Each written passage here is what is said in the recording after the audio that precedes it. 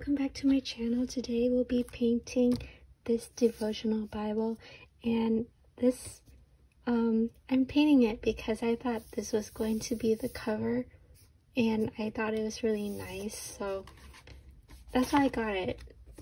Got this one instead of the leather bound one but to my shocking surprise, this is not the cover but this is the cover and honestly it's not bad, but it's not very interesting either. So I thought it would be a fun idea to paint over it and make it more interesting and fun to look at.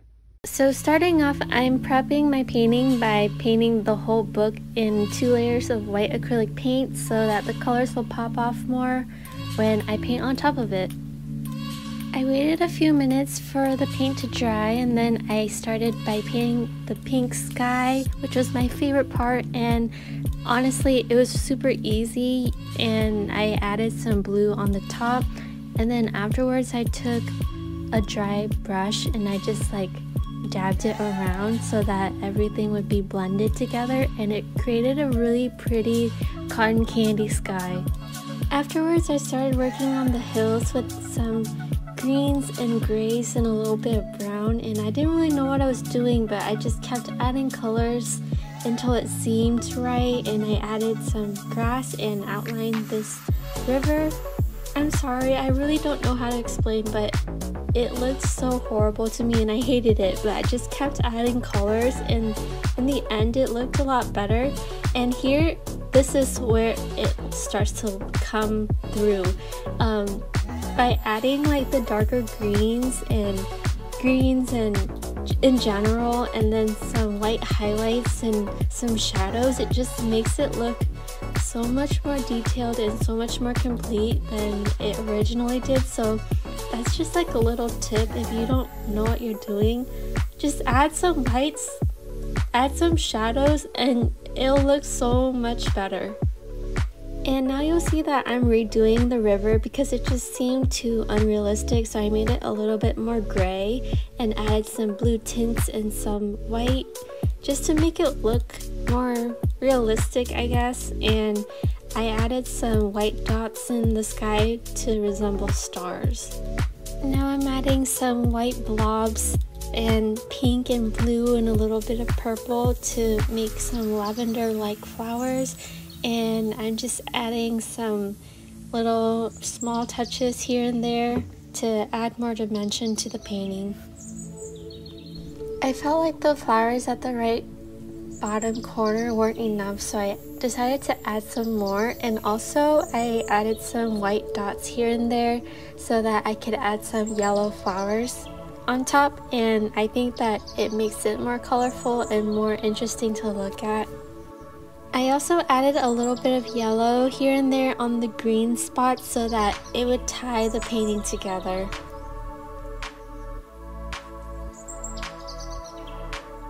After most of the paint dried, I started adding some lettering with my Micron pen and I'm so sorry this footage is really really blurry. My camera kept wanting to focus on my hair instead of what I wanted it to focus on so I'm sorry.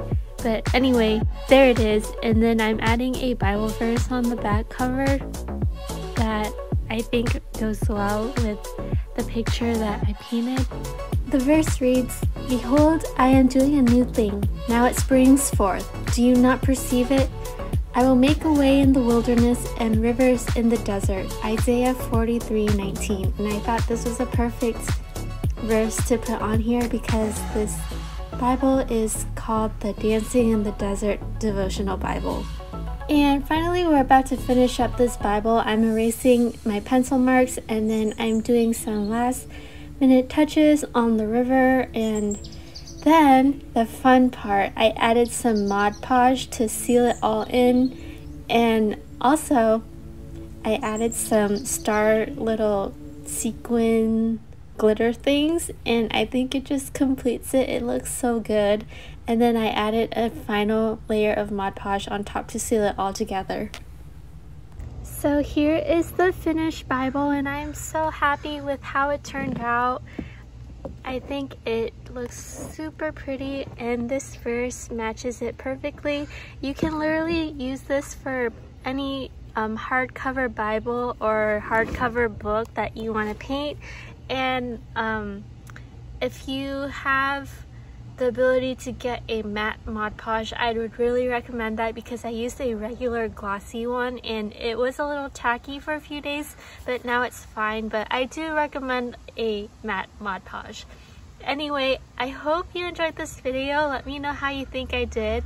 And if you make any recreations or paint any of your Bibles or any of your books, I would really love to see them. So please DM me on Instagram.